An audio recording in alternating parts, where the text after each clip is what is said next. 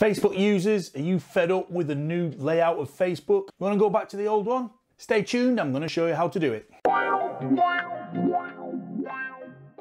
Hi guys, welcome back to the channel.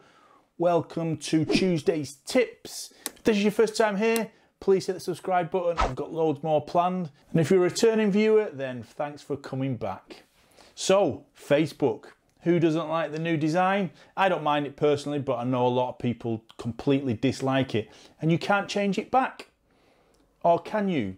Yes, you can. There is a Chrome extension to use the old layout of Facebook.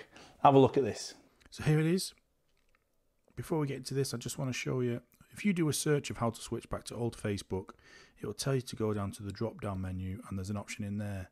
Now some people can't even find this option. I had a look and it's still there and it's only for 48 hours but it does say starting in September the classic Facebook will no longer be available. You will not get the option which I'm already seeing that a lot of people do not have the option anymore. So this is why we're doing this. Okay, so let's get rid of that. Let's go to the Chrome Web Store. If you go to the Chrome Web Store, I mean, I've left a link below so you can just click on that and take you to it. Now, it's not just for Chrome, as I've mentioned in earlier videos, this is for Chromium based browsers. So, this, Edge, Brave, all the likes like that. Once you've got to this page, you'll add it to Chrome. Once you've added it to Chrome, you will see this icon up here, which is essentially the Facebook icon. Once it's downloaded, it'll take you straight to this page. It's very simple instructions, it just tells you how to use it but all you need to do, once it's downloaded, it downloads as default as enabled. Now I've already got it, I've got it disabled. So let's enable it, go back to Facebook and refresh the page.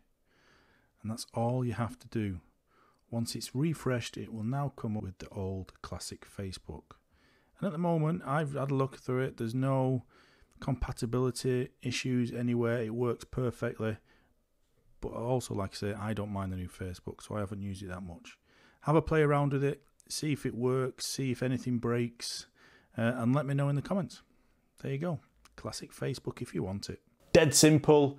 Back to how it used to be and back to what you used to. If you enjoyed that, guys, please give me a like.